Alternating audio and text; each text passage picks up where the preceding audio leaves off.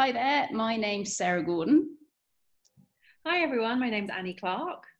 And this is our fifth session um, during which we are going to talk, give you some final hints and tips with regards to online training. So, Annie, what are your final hints and tips?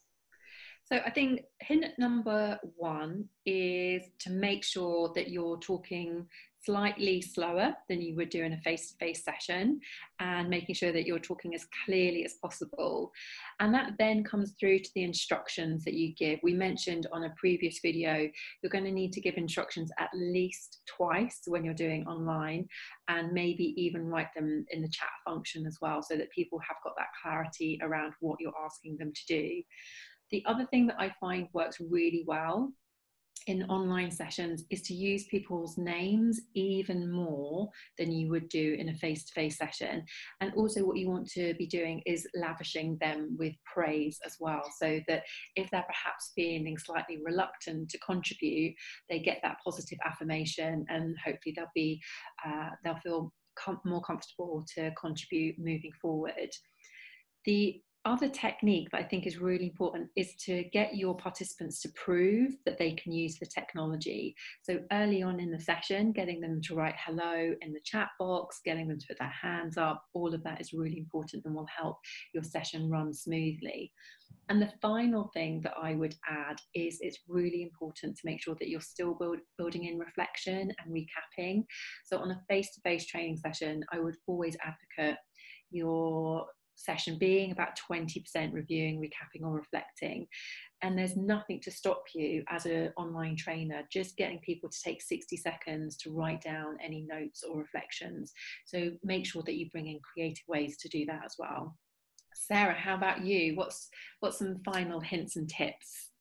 Okay, so to build on that glorious array that you just gave us, Annie. I know, um, like so um, I think in terms of um, proving getting people to prove that they can use the technology so you also know who might need an extra hands mm-hmm. without embarrassing them is key. And that's something where at the beginning of the session it's quite nice to get everybody to turn their videos on if they have a video um, and just to wave at one another um, and to use that. So get when you get people to do their introductions actually getting them to do that over the video and then get them to turn their videos off perhaps if you don't need to use them because that of course then saves on bandwidth etc especially if people are having to uh, share their bandwidth with children or partners etc who might be working in the same household. So um, that sort of almost initial screenshot of lots of lovely faces waving, um, or perhaps as well, one thing that we've been doing recently is getting people to hold up how many days they've been in isolation, oh. you know, stuff like that, which again just builds a bit of camaraderie um, amongst the team. So that would be that would be tip number one. Um, then, secondly, just to reiterate exactly what you just said about speaking really clearly and repeating the instructions numerous times. Um, and I think that comes back to, um, you know, when you're asking somebody to contribute to a discussion, state what the discussion is about, then request that this person perks their ears up, finds the unmute button, state the question again, engage them in discussion state the question again and bring somebody else into the discussion. So you're just reiterating it. Um, yeah. And as you say, showering praise on them, say thank you so much for contributing. That's mm. that's absolutely fantastic. Um, and then the final thing I'd say as well is um, if you can finish early.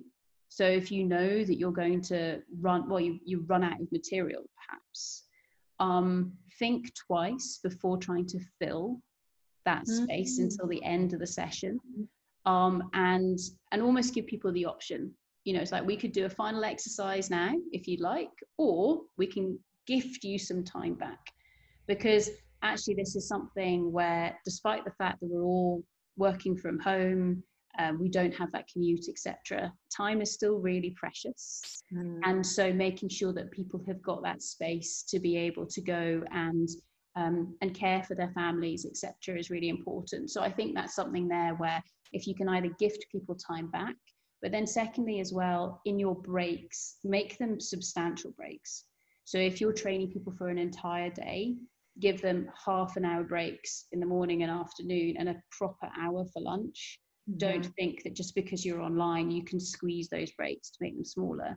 Because yeah. lots of people might having be having to cook lunch or something like that for their family. So they need to know, okay, from 12 till 1, that is when I actually get a proper break, if that's the standard of your course. So I guess to encapsulate that, that's all about um, build those breaks in and be acutely aware that people, despite the fact that they're working from home, time is still a precious commodity. So gift that to them.